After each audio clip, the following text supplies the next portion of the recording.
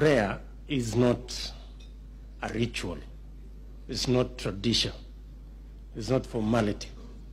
Prayer is serious business. And if you are in doubt, ask Uhuru Kenyatta.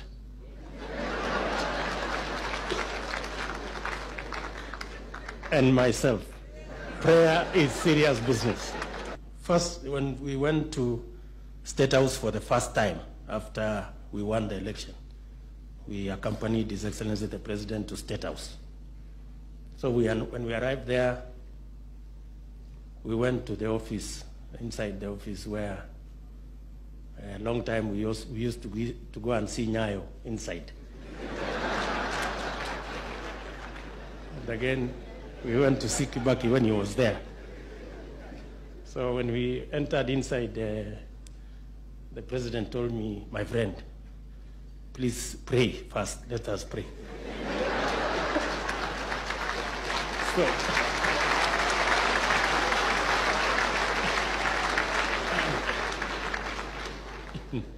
so, so I prayed. And then uh, we had a chat, then we came outside. So, and then another aide of ours, I don't want to mention his name because he has applied for a job. It, it might be used against him. So we came outside there when we were having a chat. So this gentleman told us, now you guys, supposing somebody shows up here and says, uh, sorry gentlemen, there was a small mistake.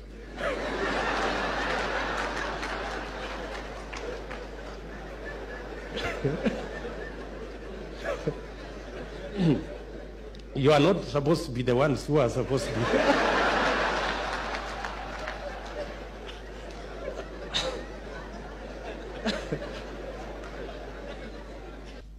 we had decided with the president that because God, you know, really has done this for our country, we've had peaceful elections, and God has been gracious to us as a nation.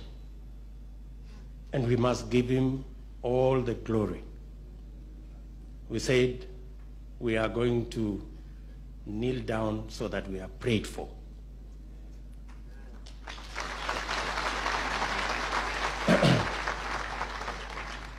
but we didn't know how to tell now these, all these people, sorry, all these people. And uh, the most difficult person was the uh, Chief of Defense Forces. we didn't know now, how do we tell this man we are going to kneel down? so the president told me, just leave it. We just tell the pastor to come and announce.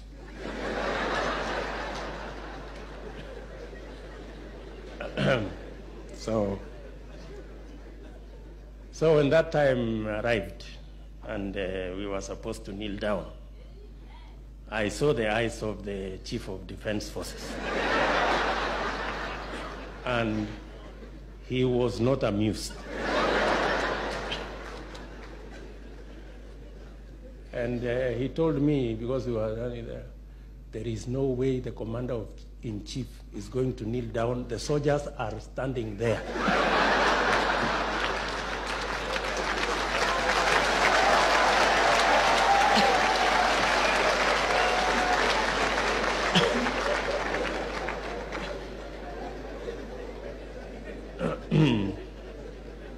but you know, the, the president told him, uh, uh, CDF, just uh, step back. And we knelt down and we were prayed for. But uh, after a day, I met the CDF. And he told me, his wife told him, if there was the ceremony of inauguration, forget about anything else that happened. The kneeling down was the event.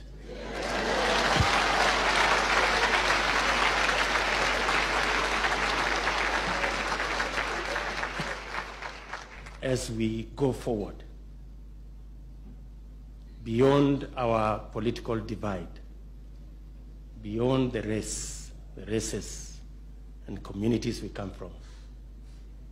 It is our desire that God puts us together, welds us together, brings us together so that we can work together for the glory of God and for the success of our country so that we can have one united, prosperous nation.